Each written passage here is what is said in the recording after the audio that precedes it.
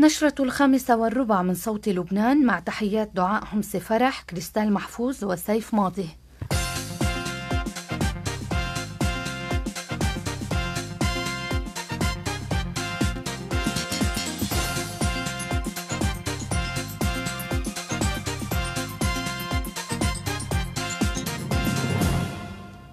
العناوين.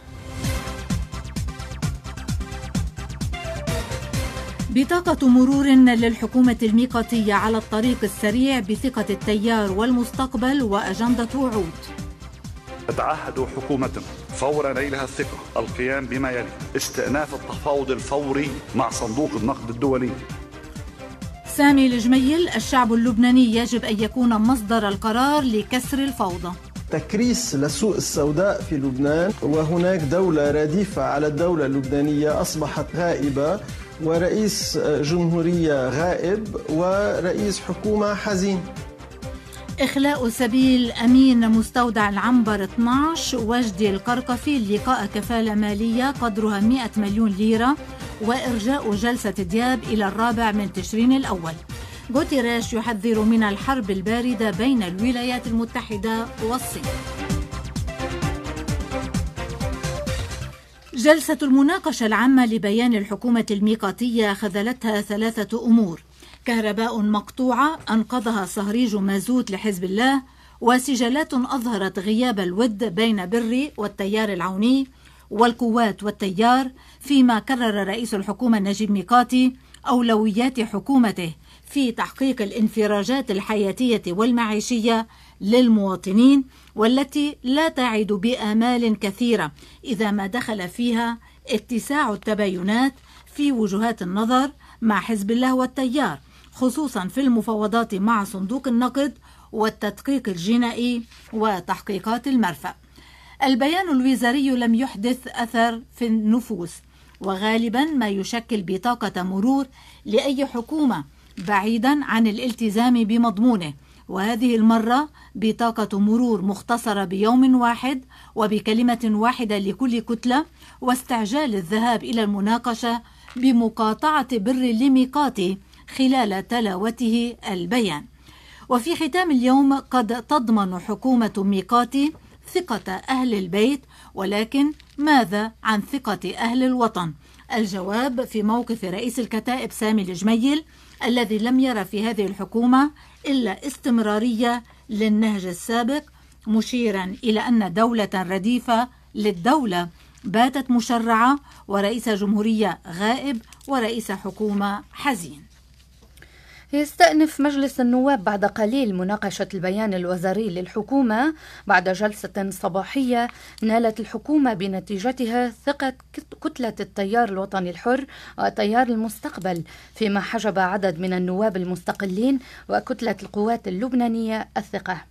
ولفت في البيان غياب معادلة شعب وجيش ومقاومة والتمسك بحسم الخلاف الحدودي البحري والبري بين لبنان وإسرائيل بوساطة أمريكية وبين لبنان وسوريا بوساطة روسية. والتأكيد على الدعم المطلق للجيش وأشار البيان إلى التمسك باتفاقية الهدنة عام 1949 لاستكمال تحرير الأرض والدفاع عن لبنان في مواجهة أي اعتداء والتمسك بحقه في مياهه وثروته بشتى الوسائل مع التأكيد على حق اللبنانيين في المقاومة للاحتلال الإسرائيلي ورد اعتداءاته واسترجاع الأراضي المحتلة. التفاصيل مع مروان الأدوم. جلسة أقل من عادية ولكن العادي فيها أن تتأخر حوالي ساعة بسبب فقدان مادة المازوت أو تعطل المولد. وهناك من قال عطل في ال disjoncteur. عند الثانية عشرة افتتح الرئيس نبيه بري الجلسة بدقيقة صمت على أرواح شهداء تليل العكار ومن ثم تلاوة المراسيم وخاصة مرسوم تأليف الحكومة التي تلا بيانها الوزاري الرئيس نجيب ميقاتي ملتزما بالنقاط الأساسية والإصلاحية لهذا البيان. تؤكد الحكومة التزامها إجراء الانتخابات النيابية في موعدها كما وإجراء الانتخابات البلدية والاختيارية على أن تباشر وفور نيلها الثقة باتخاذ كل الإجراءات التي ينص عليها القانون تداركا للانهيار المالي والاقتصادي الذي يتوالى فصولا تتعهد حكومتنا فور نيلها الثقة القيام بما يلي استئناف التفاوض الفوري مع صندوق النقد الدولي للوصول إلى اتفاق على خطة دعم من الصندوق تعتمد برنامجا إنقاذيا قصير ومتوسط الأمد. ينطلق من خطة التعافي بعد تحديثها مع المباشرة بتطبيق الإصلاحات في المجالات كافة. النائب حسن فضل الله تحدث باسم كتلة الوفاء للمقاومة منبها الحكومة من عدم الخضوع لصندوق النقد. في أحسن الأحوال الحكومة بدها تفاوض الصندوق وعم ينقال إنه الحد الأقصى للمبلغ اللي بيعطيه الصندوق 3 مليار دولار. مع ما يمكن أن يأتي من مساعدات أخرى. طيب الصندوق قروض بشروط قاسية بده يعطيكم 3 مليار. أنتم مبلشين ومعكم أكثر من ثلث هذا المبلغ. اعملوا. مشاريع حيوية سريعة وأساسية وفي خطط لها ولت من بيناتها الكهرباء. تعملوا صدمة إيجابية وبتقدموا حتى للمؤسسات الدولية بالخارج بتقدموا صورة إيجابية أنه أنتم عملتوا شيء مهم وهذا ممكن يساعد أكثر لمن يريد أن يساعد لبنان بصدق وبإخلاص. النائب جميل السيد اعتبر أن هذه الحكومة لم تتشكل من معاناة الناس بل تشكلت عندما تم الاتفاق على المحاصصة وتقاسم الوزارات والأسماء. النائب ستريدا جعجع لم تتحدث كثيرا ولكن حجبت الثقة باسم الجمهورية القوية عن هذه الحكومة. النائب جبران باسيل اشترط على الحكومة عدة أمور من أجل إعطائها الثقة. إحنا اليوم عن جديد منطالب أنه يحصل تدقيق جنائي بوزارة الطاقة وبغيرها من الوزارات والمؤسسات ويصير من سنة التسعين لليوم ويبين الهدر بالكهرباء وخاصة من سنة الأربعة وتسعين يلي سببه دعم التسعيرة. كلنا بنعرف هالشي. ويبين بعدها كيف تم المنع لخفض الكلفة على الدولة ولرفع التعرفة على المواطن بحسب الخطة يلي انوضعت سنة 2010 باسيل أعطى الثقة للحكومة باسم تكتل لبنان القوي بعدما اتهم إبراهيم الصقر بالتخزين ونواب القوات بتغطيته. النائب جورج عقايس رد على باسيل قائلا تتحدث عن الصقر وأنت متلتل بالعقوبات من العقوبات الأمريكية مرورا بالأوروبية في القريب العاجل وشن هجوما على الحكومة. النائب هادي أبو الحسن تحدث باسم اللقاء الديمقراطي وأعطى الثقة للحكومة. النائب بهي الحريري أيضا أعطت الثقة للحكومة باسم كتلة المستقبل وهكذا فعلت أيضا النائب عناية عز الدين باسم كتلة التنمية والتحرير. الرئيس بري رفع الجلسة التي ستستأنف عند الخامسة والنصف من قصر اليونسكو مروان الدوم صوت لبنان. رئيس الكتائب سامي الجميل أكد أن المواجهة الكبيرة تكون في الانتخابات ليتمكن الشعب من إسقاطهم وهذا ما سنعمل عليه في الأشهر المقبلة. وأضاف في حديث إلى الحدث أن الشعب اللبناني يجب أن يكون مصدر القرار لكسر هذه الفوضى الكاملة في لبنان. اعتبر انه في أي جديد في تشكيل هذه الحكومة تيكون عندنا أمل انه يكون في أداء أفضل من الأداء اللي كان بالسابق. وبالتالي نفس الافرقاء يلي عطلوا البلد على مدى سنين لتشكيل الحكومة هن يلي شكلوا هالحكومة برعاية حزب الله يلي هو العراب لهذه المنظومة. نحن ما بنأمل أنه هكذا تركيبة ممكن توصل البلد إلى إنقاذ حقيقي. يعني هيدا لعبة داخلية داخل المنظومة بإعطاء الثقة أو لا. هيدا المجلس هناك سيطرة كاملة لحزب الله على هيدا المجلس. وهيدا الشيء اللي خلينا نحن أنه نستقيل من المجلس النيابي لأنه ما عندنا قناعة. وهيدا الشيء عم بيترجم بكل مناسبة أنه هناك أي إمكانية للقيام بأي إصلاح من داخل المجلس النيابي ولهذا السبب نحن بنعتبر الضرورة اليوم هو إجراء انتخابات نيابية لتجديد أو لتغيير هذا الواقع النيابي ويسمح للبنانيين أنه يحاسبوا الأفرقاء والقوى السياسية يلي أوصلتهم إلى ما وصلوا إليه آه، آه، وتجديد هذا المجلس بأشخاص جدد وبأفرقاء حقيقة يؤمنون بسيادة لبنان ومستعدون للدفاع عن هذه السيادة وبدء مسار إصلاح حقيقي بأشخاص ذات كفاءة ونزاهة وكف نظيف الجميل شدد أيضا على أن دور المعارضة الرقابي مستمر واعتبر أن المشكلة تكمن في المحاسبة داخل المؤسسات والتي هي غير ممكنة لأن المنظومة تسيطر بشكل كامل. مشكلة البلد منا بس مشكلة كهرباء.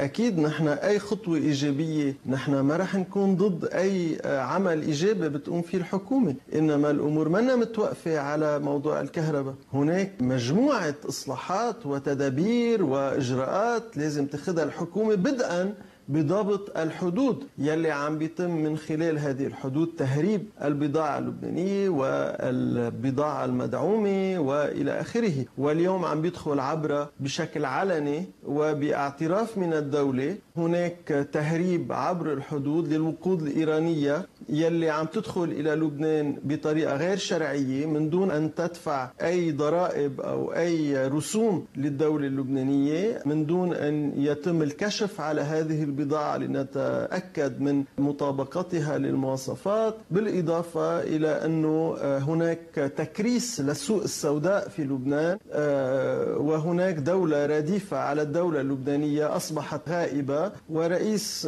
جمهورية غائب ورئيس حكومة حزين. النائب فؤاد مخزومي قال عبر تويتر إنه ونظرا للطريقة التي تشكلت بها الحكومة من محاصصة ولأنها لم تتخذ موقفا واضحا وصريحا يدل على نية حاسمة للتعاون مع المحقق العدلي لكشف حقيقة ثالث أكبر جريمة في العالم ومواساة أهالي ضحايا وجرح التفجير تفجير المرفأ. لن أعطي هذه الحكومة الثقة لأنها أبعد ما تكون عن الإنقاذ. طالب لقاء سيدة الجبل الرؤساء الثلاثة بالتحرك بسرعة لمواجهة انتهاك حزب الله وإيران الفاضح للدستور والقوانين والسيادة متهما إياهم بالخيانات العظمى. ولفت اللقاء إلى أن رئيس الجمهورية هو الوحيد بين الرؤساء الثلاثة الذي يقسم على احترام الدستور والقوانين. ورئيس مجلس الوزراء مسؤول عن تطبيق الدستور والقوانين فيما رئيس مجلس النواب مسؤول عن حسن تطبيق الدستور والقوانين وعن المحاسبة في حال عدم التطبيق ولم يحصل شيء من هذا. وإلى تغريدة اليوم.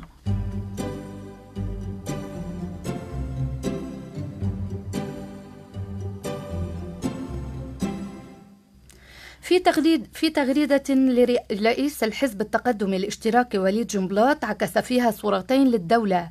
فكتب قائلا الدكتور سهيل بولس الجار العزيز والطبيب العظم المشهور الذي عالجني منذ خمسين عاما على أثر حادث سيارة أنذاك عادني في مستشفى الجامعة. جابل حود رئيس المكتب الثاني كانت مناسبة للمصالحة مع كمال جنبلاط. كانت الدولة تسيطر على الحدود والم والمرافق. أما اليوم استباحة كاملة للحدود والمرافق.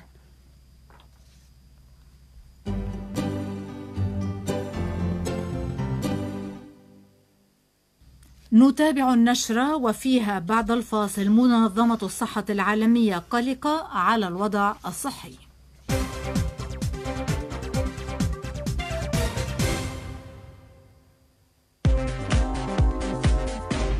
حكومة بد السترة وحزب الله يصادر القرار الاقتصادي. هل ستنجح في اتخاذ خطوات إصلاحية أم تخيب ظن اللبنانيين؟ وهل ستتكرر لعبة عض الأصابع بين أفرقائها وأي أفق اقتصادي واستراتيجي مع النفط الإيراني؟ القراءة مع مدير المركز اللبناني للأبحاث والإستشارات حسان قطب. ماشة المساء بعد نشرة الخامسة والربع. أعداد وتقديم دعاء حمص فرح.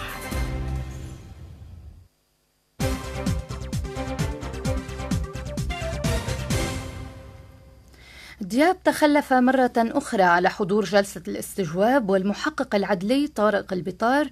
يحدد جلسة جديدة في الرابع من تشرين الأول المقبل وإخلاء سبيل الموقوفين.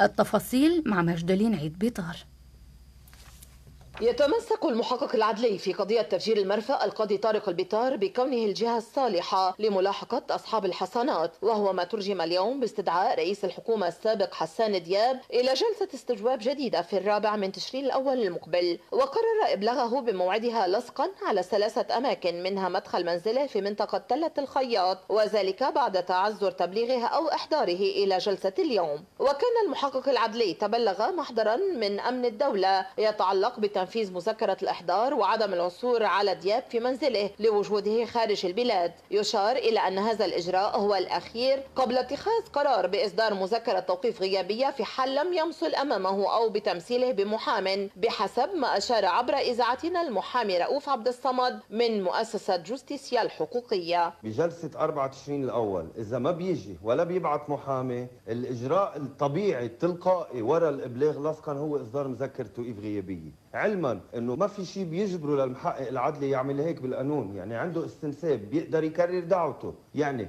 ممكن يبعث محامي يقول له مثلا الرئيس دياب حاضر يمثل قدامك يعني حسب الظروف بوقتها. بس إذا بتبقى الأمور هيك أنا برأيي وما حدا بيجي وما بيبعثوا محامي أكيد ب 4 تشرين الأول في مذكره توقيف غيابيه إلى ذلك يتجه الوزير السابق للأشغال المحامي يوسف فنيانوس وفي ضوء مذكره توقيف الغيابيه الصادرة بحقه في الملف إلى تقديم دعاوى تتعلق بمخاصمة القضاة أو برد القاضي بطار أو نقل الدعوى من يداه إلى قاض آخر بسبب الارتياب المشروع.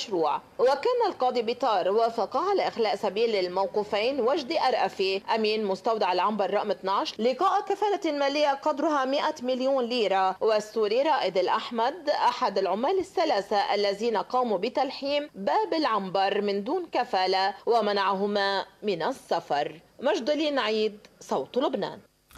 غرد وزير الصحة فراس أبيض عبر تويتر قائلا ثلاثة أمور حاليا تطغى على الهم الصحي في لبنان. الدواء ثم الدواء ثم الدواء. المشكلة لها شقان. شق آني بسبب النقص الحاد في الأدوية وآخر مزمن يتعلق بالكلفة العالية للفاتورة الدوائية. المهم الآن السرعة في توفير الأدوية وخصوصا للأمراض المستعصية. ومن ثم العمل على إيجاد حلول طويلة الأمد.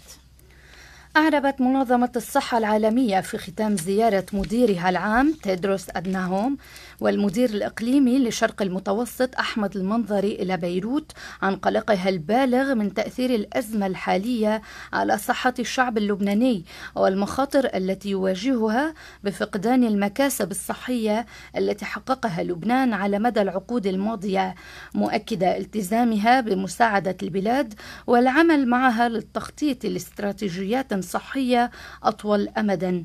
وأعاد في بيان مشترك التأكيد على التزامهما تجاه الشعب اللبناني وتضامنهما ودعمهما المستمر له. إلى ذلك أعلنت وزارة الصحة عن 300 وإصابتين في الكورونا وأربع وفيات. مستشفى بيت شباب يعاني والمصاعب القائمة تهدد بإقفاله. التفاصيل مع رانيا عبيد مستشفى بيت شباب أو المعهد اللبناني للمعوقين. المكان الذي عرف ومنذ مطلع الحرب الأهلية بالبيت الثاني للمتضررين والمصابين في الحرب ويعتبر الوحيد في المتن الشمالي الذي تبنى وأحاط هؤلاء الأشخاص. وبسبب الأزمات المتراكمة المركز اليوم مهدد بالإقفال مع الطاقم الطبي كما الموظفين والمرضى. مدير مستشفى بيت شباب الأب لويس سماحة تحدث عن الموضوع. كل علاقتنا مع وزارة الصحة والضمان والمؤسسات الباقية بعدهم عم بيحسبونا على 1050 وهيدا الشيء خلق déséquilibre يعني بالنسبة للدخل وبالنسبة للخرج. يعني ما فينا نحن ندفع أدوية ومستلزمات طبية على 19 وال 20 وهن يحسبونا على 1050 ونحن ما عندناش مرضى privé نحن عندنا كلهم مرضى أو وزارة أو ضمان أو مؤسسات ضامنة كان الجيش أو قوى الأمن أو قوى الأمن العام أو أمن الدولي لهالسبب صار في عنا مشكله على الموضوع هذا الأب سماحه ناشد المعنيين عبر صوت لبنان. ما فينا بقى نكفي هيك بده حدا يكون حدنا. هودي الشباب ضحوا كثير بحياتهم كرمال بقائنا. ما ممكن نحطهم برا. بضلوا معنا وبضلوا حدنا ولكن بدنا دعم ده فينا نكمل بطريقة جيدة. لأنه طلبنا منهم اللي بيقدر يروح على بيته بهالظروف يقدر يروح لكننا ظبطنا الأوضاع بيرجعوا لعنا. والقسم اللي باقي عنا عم نهتم فيه بعيوننا. وما حدا عم يدفع لنا لأنه في تراكمات كثيره مع الدولة مش عم تدفعهم. اللي بعدهم صامدين. ومستمرين وعم بيخدموا وعم يهتموا وعم بيضحوا بوقتهم رغم عدم الحصول على المعاش المتواجد لهم وبدي أطلب من كل المقتدرين واللي عندهم إمكانيات مادية يقدروا يكونوا حدنا تنقدر نكمل هالرسالة تبعنا. أنقذوا مستشفى بيت شباب قبل فوات الأوان، فمصيره ومصير ذوي الهمم مجهول، وما من مستغيث في دولة ما عرفنا فيها يوما طعم الاستغاثة. رانيا عبيد صوت لبنان.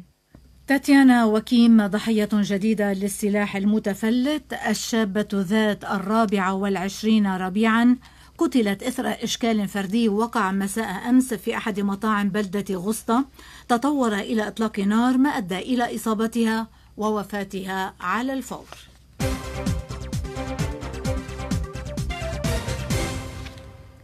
حذر الأمين العام للأمم المتحدة أنطونيو غوتيريش من احتمال نشوب حرب باردة جديدة وناشد قبيل الاجتماع السنوي لقادة العالم في الأمم المتحدة الصين والولايات المتحدة ضرورة إصلاح علاقاتهما المتوقفة تماما قبل أن تمتد المشكلات بين الدولتين الكبيرتين المتمتعتين بنفوذ كبير إلى بقية الكوكب. توجه رئيس الوزراء الأسترالي سكوت موريسون إلى واشنطن للقاء زعماء مجموعة الحوار الأمني الرباعية وسط انتقادات لقرار حكومته التخلي عن صفقة غواصات بقيمة 40 مليار دولار مع فرنسا أعلن وزير الطاقة السعودي الأمير عبد العزيز بن سلمان عن بدء تشغيل المركز النووي الذي تشغله الوكالة الدولية بدعم من المملكة بمبلغ 10 ملايين دولار. واصل بركان كومبريفييخا في جزيرة لابالما الإسبانية في أرخبيل الكناري السياحي إلقاء حمامه البركانية التي دمرت بحسب السلطات نحو 100 منزل بينما كانت تنحدر ببطء نحو البحر. الصفحة الرياضية مع رومن طنوس. بجديد الأخبار بدأت الاستعدادات بالصين لاستضافة دور الألعاب الأولمبية الشتوية خلال الفترة الممتدة من 4 لغاية 20 شباط 2022 وستليها دورة الألعاب البارالمبية الشتوية خلال الفترة الممتدة من 4 لغاية 13 أذار إلى ذلك أعلن أولمبياد بكين الشتوي 2022 عن الشعار الرسمي لدورتي الألعاب الأولمبية والبارالمبية وهو معا من أجل مستقبل مشترك. بأخبارنا أيضا كشف الاتحاد الدولي لكرة القدم إنه سيعقد اجتماع مع الاتحادات الوطنية الأعضاء للمناقشة بشأن إقامة بطولة كأس العالم كل عامين. وأشار الفيفا إلى أنه الاجتماع مع الاتحادات سيعقد عبر الإنترنت ب 30 أيلول خلال فترة إقامة المباريات الدولية. بكرة القدم أيضا توج منتخب إيطاليا ببطولة أمم أوروبا للكرة الطائرة بعد فوزه على منتخب سلوفينيا بنتيجة 3-2 بالمباراة النهائية للبطولة يلي صارت بأربع دول وهم بولندا والتشيك وإستونيا وفنلندا. أيضا تنافس الإمارات العربية المتحدة على استضافة سباق المنافسة على تنظيم بطولة كأس العالم للأندية بعد اعتذار اليابان عن ذلك بسبب مخاوف من كورونا. ختام النشرة مع الأحوال الجوية. الجو غدا قليل الغيوم اجمالا مع استمرار درجات الحرارة بالارتفاع ولا سيما في المناطق الجبلية والداخلية حيث تتخطى معدلاتها الموسمية كما ترتفع نسبة الرطوبة على الساحل.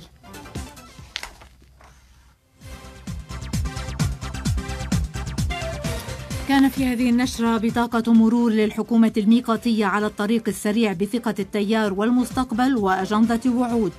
سامي. حكومة فور نيلها الثقة القيام بما يلي استئناف التفاوض الفوري مع صندوق النقد الدولي. سامي الجميل الشعب اللبناني يجب أن يكون مصدر القرار لكسر الفوضى. تكريس للسوق السوداء في لبنان وهناك دولة رديفة على الدولة اللبنانية أصبحت غائبة ورئيس جمهورية غائب ورئيس حكومة حزين. إخلاء سبيل أمين مستودع العنبر 12 وجدي القرقفي لقاء كفالة مالية قدرها 100 مليون ليرة وإرجاء جلسة دياب إلى الرابع من تشرين الأول. غوتيريش يحذر من الحرب الباردة بين الولايات المتحدة والصين. بهذا نأتي إلى ختام نشرة الأخبار قدمناها من صوت لبنان.